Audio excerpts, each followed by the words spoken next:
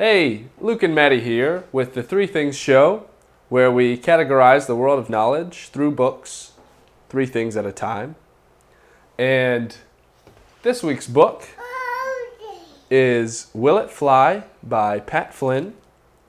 And Pat Flynn does it again in this amazing book that I really wanted to give six stars, but could only give five.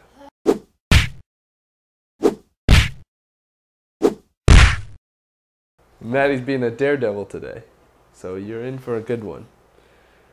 Quick intro. This book is 336 pages paperback and 6 hours 27 minutes audible. It is described on Amazon as follows Stop rushing into businesses born from half baked ideas, misguided theories, and other forms of self delusion. A lack of proper validation kills more businesses than anything else. As Joel Barker says, speed is only useful if you're running in the right direction. Will It Fly will help you to make sure that you are clear for takeoff. It answers questions like Does your business idea have merit? Will it succeed in the market you're trying to serve, or will it just be a waste of time and resources? Is it a good idea for you? In other words, will it fly? So, what are three things we can use from this book? Number one, mind map. So you've got a concept that you want to put out into the world, but it's too complicated to just write it all out. Or it's a multi-level concept with branches. She doesn't like multi-level concepts. Or it's a book and you want a good big picture. Anything that you can't sum up right away, Pat Flynn has a method that helps you to assembly line this process for both efficiency, efficiency and accuracy. The method is called a mind map, and it has two to three phases involved. Phase one, creative mode. Have your concept in mind, then give yourself 10 minutes to just spew whatever thoughts you have about that topic onto separate sticky notes. And don't stop coming up with ideas and write every idea that comes to your mind on these sticky notes.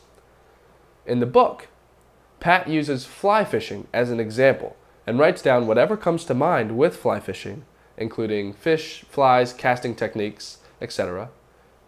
And then phase two, now that you've got all of your ideas out onto the table, start to organize them using similarities and under different headings. Start to get a big picture of your idea by seeing the different areas that you have divided the concept into. And then the optional phase three is condense it. And now Pat Flynn introduces the, a way to condense your idea into one focal, focal point, one focal idea. He says to use your mind map. Write out and describe your concept using your mind map. Write out and describe your concept onto one page. And then, what, using that page, describe and write it into just one paragraph. And then finally, condense it from that paragraph into just one sentence. And voila, your idea has multiple different pillars from the mind map that make it up, and you have a foundational sentence that ties it all together. And Pat Flynn has a video of the first part of this process up on YouTube, which I will link to in the description. Number two, sniper search. This is really cool. Before we get into the technique of the sniper search, we need to understand why it's so cool and helpful. The reason why sniper search is so cool is that it allows you to find what people are saying in your industry and you can find out the problems and the concerns, the stories that they are telling, and the language that they are using. You can see the places that your customers are going, the products that they are buying, and the people that they are following. Using all of this information, you can develop a picture of your market that is far more accurate and researched than most of your other competitors. And Sniper Search is used on different search sites like Google, iTunes, and YouTube, just searching sites. Uh, each has a different way of using their own advanced search and different shortcuts for precision, precision searching, which is the, uh, the main idea of the sniper search. but we're just going to use Google in this example. To find what people are saying and what questions people are asking, as our, as our first example, you will first want to find a forum that is related to your market. So, think up a keyword that describes your market in total, or at least a piece of it, and then use that keyword in the search bar in the following way, which we will get to right after I take care of this baby. I'm back. So to use the sniper search, you use the search bar in the following way. Type forum, the word forum, colon, and then your keyword into the search bar. Mary just shoved like eight grapes in her face. Um, but once that's in the search bar, hit search. And out of the results, find a forum, because you're going to get a list of forums, and find a forum that fits your market. Now you can either read through the posts in that forum as research, or you can dig deeper and attempt more precision by taking the URL of that forum, the web address, copy it, and now type this into the Google search. Quotations, how come I, in quotations, site, the word site with a colon, and now paste that forum URL right there. And now hit search. And you will find all of the questions in that forum that include the phrase, how come I? You can substitute any other phrase, and you can do this with more than just forums.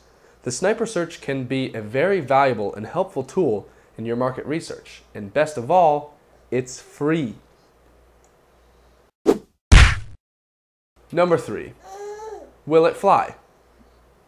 So, Pat Flynn has been in the online income and passive income industry, helping people start and run successful online businesses for eight years by the time that he has written this book.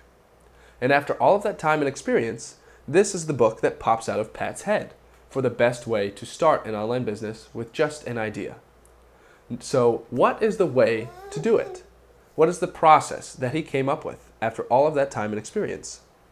And the result was a simple five step process that has been used by many a successful entrepreneur and is outlined in this book. And while there is a, there's certainly nuance to each of the steps, the overall process is still a very enlightening and inspiring big picture look. And since the book was called Will It Fly, is all in aviation terms. Number one, mission design.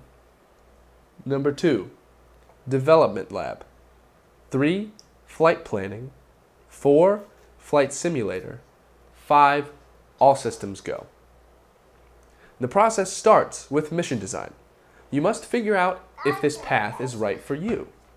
Do you want it enough to put in the work? Do you care enough to make the sacrifices for the greater good, but are still willing to risk potential failure? On the development lab, where you poke, stretch, onto the development lab, where you poke, stretch, and fully form your idea through a series of tests. Into flight planning, where you discover the market you are looking at and do the research and design accordingly. Figure out who and what is in your market and separate yourself in a unique but logical and reasonable way and create solutions to the problems that you run into. In Flight Simulator, you will test your ideas in a less risky way by taking advantage of different softwares, sites, and techniques to either validate your business model or realize that a pivot could be in order.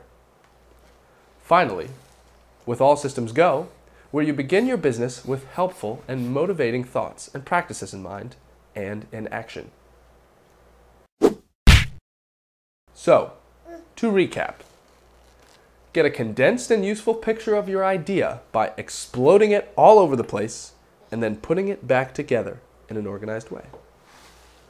Picture your market precisely by sniping out your customers' leaders, websites, and purchases and studying their questions, stories, and language.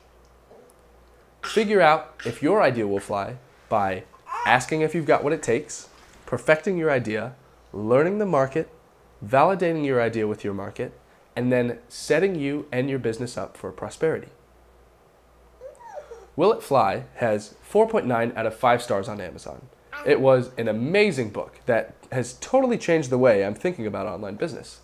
I plan to do an actual mind map of Average Optimized in the near future because my way of just scattering notes all over the place doesn't work nearly as well as a mind map, I would imagine. I loved this book and I recommend it. I recommend not only the book, but also Pat Flynn's Smart Passive Income brand to anyone interested in online business. You can find him at smartpassiveincome.com or look for the Smart Passive Income podcast on iTunes or on your Android podcast app, which I listen to every week and I love it. But that's it for this book. Thank you for watching, and we'll see you next week.